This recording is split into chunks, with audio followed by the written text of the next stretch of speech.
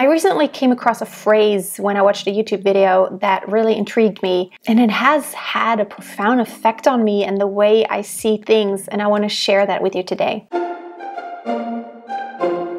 Hi and welcome to today's video. In case you don't know me yet, my name is Freya and I'm an aspiring minimalist, always trying to find ways to simplify life in order just to enjoy it more. Routine is the enemy of time. I was watching a video recently. I love watching videos of people who explore the world. And there's a YouTuber, I will put the link below. You have to check him out. His name is Bryn North, and his channel is um, Mr. Bryn North. He makes the most amazing videos about exploring the world. He has amazing footage and he tells stories that are so intriguing. It's amazing how many times can I say amazing? he had a quote, and I think it's just something he said routine is the enemy of time, and that really made me think.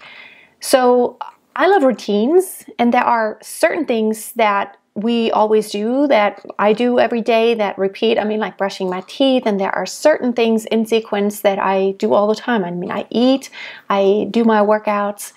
But here's the thing that I really thought about it's true that human beings need something comfortable, like something that comforts us, the usual, the something reliable, but we also have that innate need of something new, something exciting, something unknown. And I think it's really the balance between the two that gives us the most that really makes us truly happy. So having some kind of routine is okay. Like if it's just something that is, you know, something that to keep you alive. I mean, like eating has to be a routine, and brushing your teeth has to be a routine. Getting dressed and undressed every day has to be a routine. Sleeping has to be a routine. But to get stuck in the same, same, same to where we don't really appreciate the hours and the minutes anymore. To me, that is my pitfall sometimes. I can tell that when I get into the same, same, same, it's just almost like I can't remember a year from now what I did when every day was the same. But when something was different, when I challenged myself, or when something happened that was unforeseen, whether it's good or bad, those are the times that I really remember that stick with me. And that's what I think he really means when he says routine is the enemy of time. And I think it's just we live time differently and we we have those memories. It's almost like we create more time and it seems like we are here consciously and we're present and we live life versus when you do always the same routine that has nothing new and exciting there is something that is really good about it that we need. We need that reliable aspect in our lives but if we have that without the challenge and the new and the, the exciting and maybe sometimes the frustrating or the heartbreaking, I just think it's not the same. I have a really good friend of mine. I went to Antarctica with him. We were both hired on a cruise ship, and um, I, I'm a performing artist, and he's a performing artist. He's a pianist, I'm a singer, and so we did a few cruises together as a team, as a duo. And I remember him sitting on the Zodiac. Those are those little boats, those little lifeboats that, you know, you go to shore with him and I, we sat in that zodiac between a bunch of icebergs in Antarctica, and he didn't have any gloves on, and he sat on his fingers because he was getting so cold and it was windy. And I said, Oh my goodness, why don't you have any gloves? Your fingers are already blue because they're so cold. And he said, and he looked at me and said, You know what, Freya? Then I know I'm alive.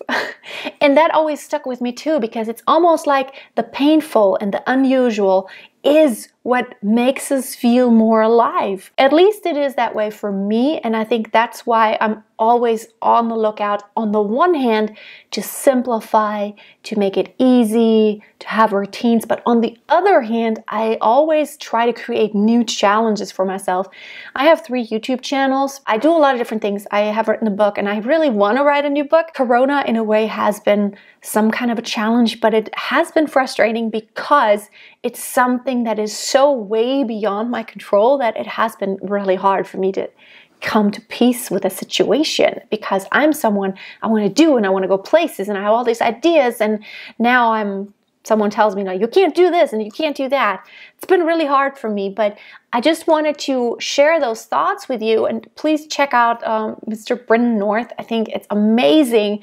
And to me I vow to myself that I will just look for more experiences, not the same old, same old, but more experiences, more of the unusual, taking more risks, not crazy risks, but taking more risks because in the end, all that matters is really like all the memories that we have those we have when I'm on my deathbed, I will have all those memories. And I don't just want to think back and say, well, wasn't it great to do the same thing every single day? Wasn't it great how comfortable it was every day? I think those moments where it was uncomfortable or unusual, those are going to be the ones that make life more valuable. But I see it that way. I can totally understand if someone else just really needs more comfort zone. But for me, getting out of comfort zone, it just really makes me feel more alive. And I just wanted to share that today. Let me know in the comments. Are you more kind of person who thrives in comfort zone?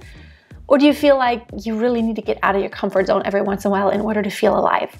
Thank you so much for watching. Have a great day. I'll see you next time. And until then, keep it simple and maybe look for some new things to keep it all exciting too.